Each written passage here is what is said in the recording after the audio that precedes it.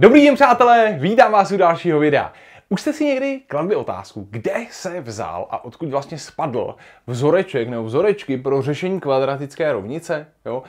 Já nevím jak vás, ale mě na střední škole učili. Kvadratická rovnice vypadá nějak takhle, že jo, základní tvar ax na druhou plus bx plus c rovná se 0. A tahle ta kvadratická rovnice se řeší tak, že si spočítáš diskriminant, b na druhou minus 4ac, a pak si spočítáš už jednotlivý ty řešení. Můžou být až dvě, že jo? podle toho, jaký je ten diskriminant. Minus b plus minus odmocněna z diskriminantu lomeno 2a.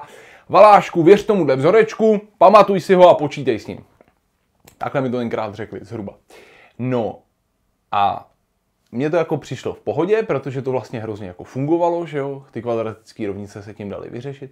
A potom jsem si ale časem jako začal říkat, no jo, sakra, ale kde se to jako vzalo? Kde se vzaly ty vzorečky? Odkud to spadlo? Jo? Jak to, jak to, že nemusíme tu kvadratickou rovnici jakoby po každý řešit. Když mám nějakou lineární rovnici, že jo, taky, taky většinou nějak řeším nějakým převáděním zleva doprava, dělením a tak dále. Kvadratická rovnice ne. Když máte kvadratickou rovnici v tomhle základním tvaru, jak jako rovnou napíšete prostě řešení. Že?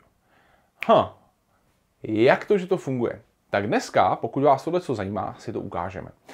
Odvodíme si řešení kvadratické rovnice, odvodím, odvodíme si tyhle ty dva vzorečky a už budete vědět, jak to funguje. Jdeme na to. Vezmu si kvadratickou rovnici, ax na druhou plus bx plus c rovná se 0 a udělám tady pár věcí. Že jo? Tak, za prvý, Ačko je asi nenulový, že jo? jinak by to nebyla kvadratická rovnice. Kdyby Ačko bylo 0, tak je to lineární rovnice, že jo? Pokud by to bylo, pokud by i Bčko bylo 0, tak je to konstanta rovná se 0, je to nějaká rovnice, která většinou, pokud ta konstanta taky není nulová, tak nemá řešení. Jo? Takže počítám, že Ačko je různý od nuly. A proto s tím Ačkem můžu vydělit. Jo? A vlastně já jsem původně tohleto video chtěl nazvat k čemu je dobré doplnění na čtverec. Jo? Například k odvození uh, řešení kvadratické rovnice. My budeme za chviličku používat doplnění na čtverec a pomocí toho doplnění na čtverec si se dostaneme vlastně k těmhle těm výsledkům. Jo? Tak, první věc, kterou uděláme, je, že vydělíme Ač, Ačkem tu rovnici, jo? abychom tam měli x na druhou jenom. Jo? Tak to udělám. Proč to budeme dělat? Protože se nám to pak bude líp uh, bude se nám to líp eh, doplňovat na ten čtverec. Jo? Takže x na druhou plus b lomeno a x plus c lomeno a rovná se 0. No a teď konc, tyhle ty dva výrazy, nebo tyhle ty dva, ne, no, jsou to vlastně členy, doplním na čtverec. Jo? Uh, Bohužel teď tady nemám prostor vysvětlovat, jak se doplňuje na čtverec. Na to už jsem natočil video. Pokud neumíte doplňovat na čtverec a zajímá vás to, tak se koukněte do popisku videa, je tam odkaz na video o doplnění na čtverec. Jo? Tak, dobře.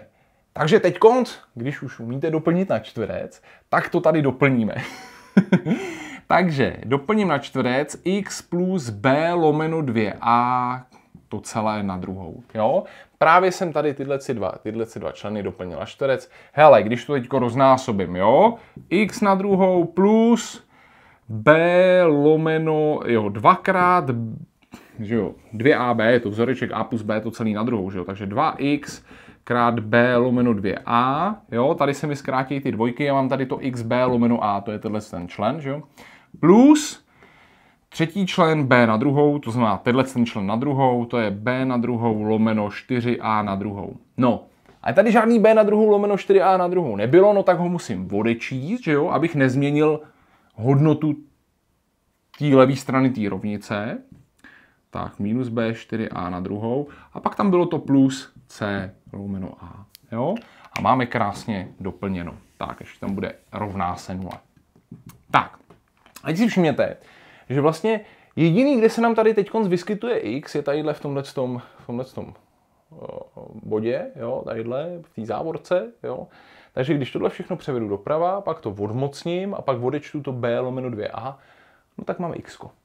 No tak pojďme na to. Takže to všechno šoupnu doprava, kromě téhle závorky, x plus b lomeno 2a, to celé na druhou, se rovná b na druhou lomeno 4a na druhou minus c lomeno a, jo? Šoupu to na druhou stranu.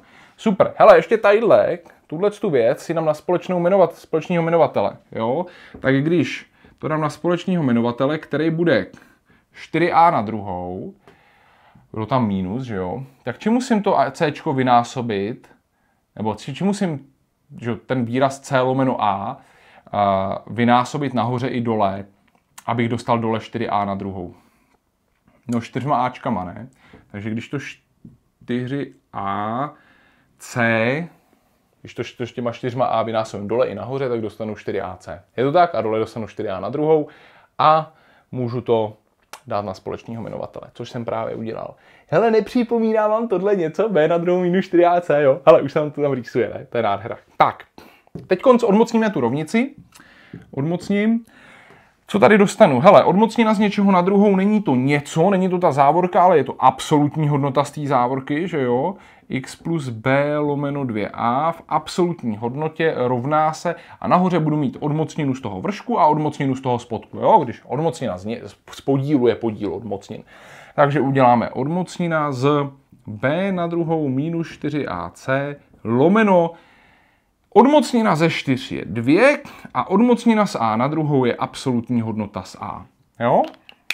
Tak, báječný. Mně už se to sem začíná nevedít, takže umažeme kousek začátku. A, dobrá, dobrá. A nebo budu pokračovat tady.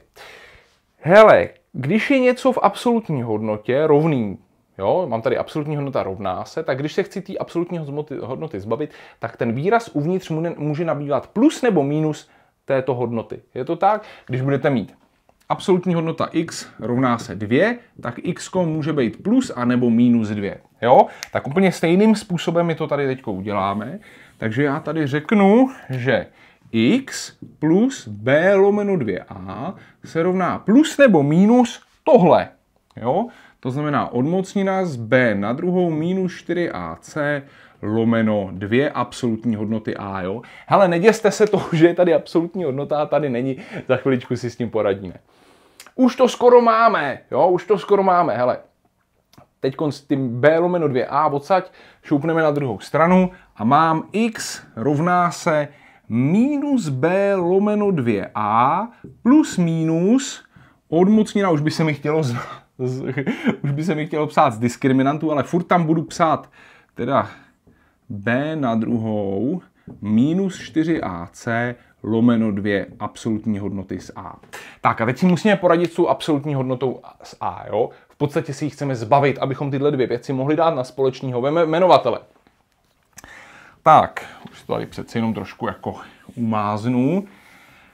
A udělám prostě hrozně jednoduchou úvahu. Tak. Udělám hrozně jednoduchou úvahu. Zbavím se absolutní hodnoty. Když Ačko je kladné, tak ta absolutní hodnota nedělá nic a nemusím ji tam psát, že jo? Takže když Ačko bude kladné, tak mám co? x se rovná minus b lomeno 2a plus minus odmocnina z b na druhou minus 4ac lomeno 2a.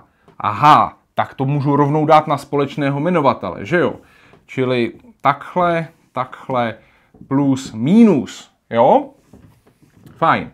Když Ačko bude záporné, nula být nemůže, že jo? To jsme na, na začátku vyřešili, protože by to nebyla kvadratická rovnice. Když bude záporné, tak budu mít x rovná se. Když je Ačko záporné, tak absolutní hodnota z Ačka je minus A, jo?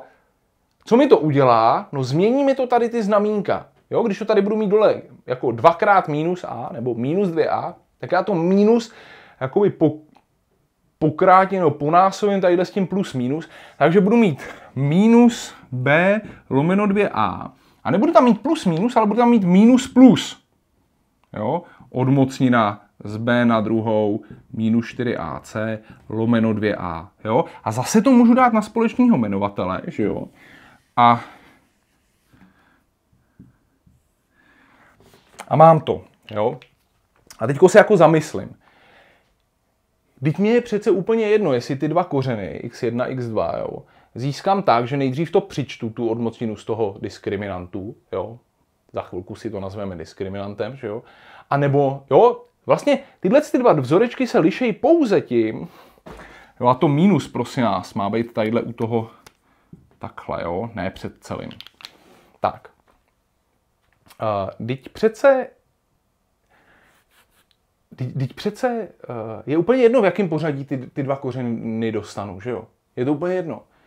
Jestli dostanu nejdřív ten, kdy jsem to přičetl a ten, kdy jsem to odečetl. Ne, ne, nebo ten, kdy jsem to odečetl. Jo? No, takže vlastně tyhle ty dva vzorečky jsou úplně totéž. Jo? Jsou úplně stejný. No, tak to nebudu rozlišovat, jo? A budu si, budu si brát prostě jeden, jo? A teďko, že jo? Protože tohle je jako složitý vzoreček, jo? A středoškoláci, že jo, by se z něj děsili, by si ho nepamatovali tak dále, tak někdo jako vymyslel, že tadyhle tuhle tu věc nazveme diskriminantem a budeme ji počítat zvlášť. Spočítáme si ji jako nejdřív a potom teprve ji budeme dostat do, do, do vzorečku eh, pro x1, 2. Jo? Tak a já mám ještě asi minutku, takže jenom řeknu, ono to má svůj význam, proč ten diskriminant je jako z toho vzorečku vydělený, že jo? Protože když ten diskriminant si spočítáte, tak vám to hnedka řekne podle jeho hodnoty, jestli ta rovnice má jedno, dvě nebo žádný reálný řešení, nebo jestli respektive ty dvě řešení, tohle je docela zajímavý. Kvadratická rovnice má vždycky dvě řešení. Jo? Buď to jsou to dvě různá reálná řešení, nebo je, jsou to dvě stejná reálná řešení. Jo? Třeba rovnice, já nevím, x minus 1, to celé na druhou rovná se 0. Tato rovnice má dvě řešení, jedno je jednička a druhé je také jednička. Jo? Je to takzvaný dvojnásobný kořen. A nebo může mít dvě různá komplexní řešení jo? v oboru komplexních čísel. No, dobrá. Takže je fajn ten diskriminant vydělený, protože když ho spočítám, tak hnedka budu vědět, jaký, uh, o jakou rovnici se rovná, jedná, jaký, jaký bude mít řešení. Jo? Nebo ne jaký, ale kolik. Tak jo, přátelé, super, moc krát vám děkuju za pozornost. Teď už víte, odkud spadly vzorečky pro kvadratickou rovnici, že teda nespadly, že to přes vybublalo přes doplnění na čtverec. Víc videí najdete na matematikátoru a já se na vás budu těšit někdy příště. Mějte si krásně. Ciao.